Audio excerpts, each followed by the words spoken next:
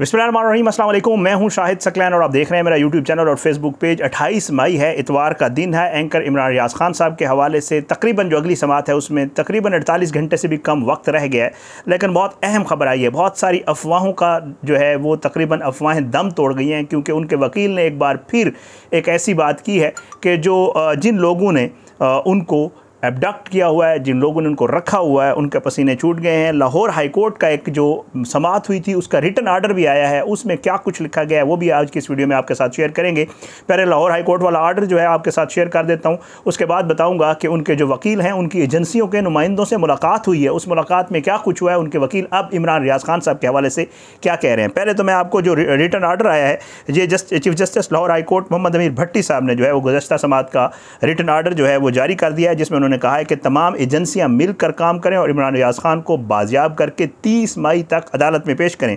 तहरीर हुक्मनामे में कहा गया है कि वजारत दाखिला की जानब से तहरीर रिपोर्ट अदालत में जमा कराएगी, जिसके मुताबिक इमरान रियाज वजारत दाखिला के महतात किसी एजेंसी के पास नहीं है। अदालत ने कहा है कि वजारत दफ़ा की जानब से अदालत में कोई पेश नहीं हुआ और ना ही रिपोर्ट अदालत में जमा करवाएगी जबकि पुलिस ने मगवी की बाजियाबी के लिए तीन से चार दिन का वक्त मांगा है। हुक्मनामे में कहा गया है कि तमाम एजेंसियाँ जो है, वो बाजियाबी के इकदाम करें और तीस मई को होने वाली अगली समात तक उन्हें अदालत में पेश करें। ये सारा कुछ जो है आपको पता है। गुजशत समात के ऊपर लाहौर हाई कोर्ट ने वजारत दाखिला और वजारत दफ़ा को हुक्म दिया था कि एंकर पर्सन इमरान रियाज को पेश करके अपनी आइनी ज़िम्मेदारी पूरी करें। जबकि आई जी साहब जो हैं डॉक्टर उस्मान अनवर उन्होंने जो है आ, कहा था कि जी हम लाइलमी का इजहार किया था कि जी हमारे पास नहीं है। ये तो आ गया कोर्ट का आर्डर। लेकिन अब आगे का मामला आपको बताता हूँ। आपको मैंने भी वीडियो की थी कि एक बैन अवी सहाफ़ी जो है उन्होंने बाकायदा तौर पे इमरान रियाज खान साहब के मामले को लेकर जो है एक जो है स्टोरी की थी। वॉइस ऑफ़ अमेरिका की एक स्टोरी में उनका ज़िक्र था। और उसके बाद जो है यहाँ जो पाकिस्तानी सहाफ़ी हैं, वो काफ़ी परेशानी का शिकार हो गए थे। इमरान रियाज खान साहब की फैमिली परेशानी का शिकार हो गई थी कि सफारती ज़रा से उन्होंने खबर दी थी। लेकिन उसके बाद अल्लाह का शुक्र है कि मियाँ अली अशफाक साहब, जो इमरान रियाज खान साहब के वकील भी हैं और वो उन्होंने जो है पिछले कोई तकरीबन तकरीबन 22 घंटे में तीन चार ऐसे ट्वीट्स किए हैं, जो कि काफ़ी खुश आइंद भी हैं, जो कि काफ़ी पुर उम्मीद भी हैं और बहुत सारी चीज़ें इसमें ऐसी हैं, जो मैं आपको पढ़ के सुना देता हूँ। लेकिन इससे पहले आपको पता है, अभी, अब से थोड़ी देर कबल इमरान खान साहब ने भी बाकायदा तौर पर तहरीक इंसाफ के चेयरमैन इमरान खान साहब ने बाकायदा तौर पर जो है, वो समी इब्राहिम साहब और इमरान रियाज खान साहब के हवाले से ट्वीट किया है कि वो जहाँ भी हैं, उन्हें बाजियाब करवा के जो है वो अदालत में पेश किया जाए, क्योंकि इस मौके के ऊपर जब जो हालात चल रहे हैं, इनमें पाकिस्तान की सहाफ़त को जो है वो खौफ का शिकार किया जा रहा है, एक लंबी ट्वीट है, उसमें उन्होंने बाकायदा तौर बाकी भी हर जगह से ये आवाज़ आ रही है कि समी इब्राहिम साहब, इमरान रियाज साहब को बाजियाब कराया जाए और उनको अदालत में पेश किया जाए। जब वो खबर आई जो बैन अवी सहाफ़ी ने दी थी उसके बाद अलीशफाक साहब ने ट्वीट किया उन बाईस घंटे पहले उन्होंने कहा मुल्क में जारी हालात देख कर अफवाहों को तकवीत मिलना यकीन एक कुदरती अमल है और आम आवाम का, का इन पर शकू को शुभात करना भी एक कुदरती अमल है। ज़ाहरी बात है अहल अक्ल और अहल नज़र बहुत कुछ जानते हैं। इमरान रियाज खान की ज़िंदगी अल्लाह के हुक्म से महफूज है। इसकी सलामती के लिए दुआ करें अफवाहों पर तवज्जो मत दें जिससे थोड़ा सा ये हुआ कि वो जो अफवाह आई थी जो सूरत हाल बनी थी कुछ लोगों ने मिर्ज़ा जहांगीर साहब ने भी उसके ऊपर उस ट्वीट को रिट्वीट किया था और ख़ुद भी कुछ लिखा था। और भी बहुत सारे लोगों ने उसके ऊपर जो है अपने शकूक व शुबात का इजहार किया था कि क्या मामला चल रहा है और अपने ख़दशात का इजहार किया था। इसमें जो है ये सारा मामला मियाँ अली अशफाक साहब ने एक ट्वीट में क्लियर कर दिया। फिर वो कहते हैं कि जी, मुल्क भर के तमाम इदारों के वसाइल को मद्देनज़र रखते हुए इनकी मावनत से इमरान रियाज को बाजियाब कराया जाए और लाहौर हाई कोर्ट के हुक्म के ऊपर अमल दरामद करवाया जाए। अफवाह साज मकामी या आलमी हो तोज्जो मत दें। ये उन, उस चीज़ को दोबारा क्लियर कर दिया। एक बार फिर उन्होंने, एक और चीज़ उन्होंने जो कि वो कह रहे हैं कि जी पुलिस के साथ हाँ उन्होंने कहा कि जी पुलिस के साथ ये तेरह घंटे पहले पुलिस के साथ लाहौर हाई कोर्ट के हुक्म के मुताबिक मुलाकात हो चुकी है जिसमें तमाम एजेंसियों के नुमाइंदे भी शामिल हैं।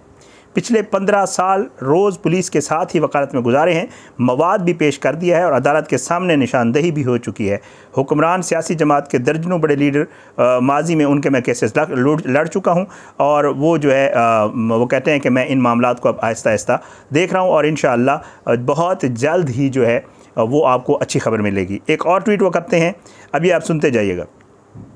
बार बार इमरान रियाज के चाहने वालों के इतमान के लिए बता रहा हूँ कि अल्लाह के हुक्म से अल्लाह की ख़ास हिफाजत में है और अफवाहें मकामी हो या आलमी सियासी और दीगर मकासद किसी पर तोज्जो मत दें। वक्त और हालात अपनी जगह सब खुद सामने अपने वक्त पर ही आ जाता होता है। फिर वो एक ट्वीट करते हैं मियाँ अली अशफाक साहब। वो भी आपको पढ़ के सुना देता हूँ ताकि आपको अंदाज़ा हो। हाँ यही है कि जी बार बार इमरान रियाज के चाहने वाले इमरान के लिए बता रहा हूँ कि अल्लाह के हुक्म से वो ख़ास हिफाजत में है। अब इसमें बहुत सारे ज़हरी बात है। मामला जिसमें बहुत सारे हमारे जो मकामी सहाफ़ी हैं, जो बैन अवी सहाफ़ी हैं वो जो है बार बार इमरान रियाज खान साहब की रिहाई के लिए, उनकी जो है बाहिफाजत वापसी के लिए, उनको अदालत में पेश करने के लिए जो है बार बार ट्वीट्स भी कर रहे हैं, अपने खदशात का इजहार भी कर रहे हैं और साथ साथ ये भी कह रहे हैं कि जो मामला जो इस वक्त हालात चल रहे हैं, उनको अगर देखा जाए तो ये बिल्कुल भी किसी तरह सेव नहीं है कि इमरान रियाज खान साहब जो है वो ज़्यादा अरसे के लिए, या समी इब्राहिम साहब का भी साथ में ज़िक्र करता जाऊँ कि उनका भी कोई इल्म नहीं हो रहा।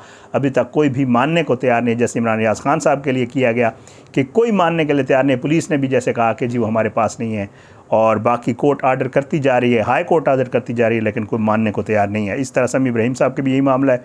तो ये सारे मामला जो है, इस वक्त पाकिस्तान में हो रहे हैं। बस दुआ किया करें, अल्लाह पाक जो है, वो सबको अपने हिफ्ज़ अमान में रखे।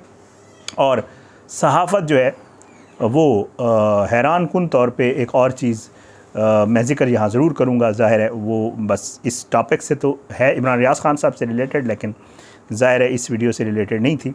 मैंने एक पोस्टर देखा जो दीवारों के ऊपर वाल ऑफ़ शेम बनाई गई है, तरीके इंसाफ के। रहनुमाओं की तस्वीर वगैरह लगा के पोलिटिकल आपकी किसी के साथ जो है वो हो सकती है, बिल्कुल।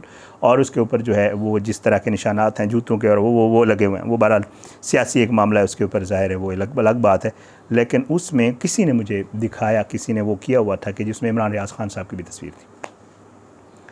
तो ये जो है सहाफ़ी जो होता है, ज़ाहिर है उसका किसी सियासी जमात को सपोर्ट करना या किसी सियासी जमात की तरफ़ टिल्ट होना, ये वो गैर जानब अगर कोई कहता ना कि जी मैं गैर जानबदार सहाफ़ी हूँ और मैं किसी पोलिटिकल पार्टी की मेरी टिल्ट नहीं है और मैं न्यूट्रल हूँ और मैं बिल्कुल इस्टेब्लिशमेंट की भी साइड नहीं लेता तो मेरे ख्याल से इस वक्त पाकिस्तान में ये बिल्कुल झूठ बोलता है अगर कोई कहता है तो। कोई भी कहता है तो। क्योंकि अब जो सूरत हाल बन चुकी है, उसमें पोलराइजेशन है माशरे में। हर बंदे का किसी न किसी तरफ़ थोड़ा बहुत टिल्ट है। तो जो है, ये सारा मामला है, लेकिन इसको ये, इस इस तरह का रंग देना, इस तरह की चीज़ करना, वो भी बड़ा अफसोसनाक है। बहरहाल इमरान रियाज खान साहब के हवाले से आखिर में फिर वही कहूँगा कि जी, अल्लाह करे, वो बाहिफाजत, बाखैरियत इन और उनकी फैमिली ने, बल्कि उनके भाई ने भी ट्वीट किया हुआ था कि जी, अफवाहें मत फैलाएँ, क्योंकि आलरेडी हम इतने परेशानी में आलरेडी हमारे ऊपर इतना मुश्किल वक्त है, और आप लोग अफवाहें फैला के और ये इस तरह की चीज़ें करके जो है, जैसे बहुत सारे सोशल मीडिया के ऊपर उनकी ज़िंदगी के हवाले से बहुत सारी चीज़ें आई तो कह रहे हैं कि जी, हम बहुत ही ज़्यादा तकलीफ़ का शिकार हैं तो उससे बेहतर है कि आप जो है वो अफवाहों पर कान मत धरें, और जो लोग कंसर्न हैं उन्हीं से बात करके जी, मियाँ इशफाक साहब या जैसे लोग उनसे बात करके जो है फिर बात या ख़बर आगे किया करें। बहरहाल, यही कोशिश थी कि आप तक जो भी डेवलपमेंट आई आप तक पहुँचाएँ। उम्मीद है इन जो अगले आने वाले अड़तालीस घंटे में बहुत अच्छी खबर लाएँगे और अल्लाह करेगा कि ये सारे मामला अच्छे तरीके से सार्ट आउट हो जाएँगे। इजाज़त, अगली वीडियो में मुलाकात होगी। पाकिस्तान जिंदाबाद। अल्लाह हाफ़िज़।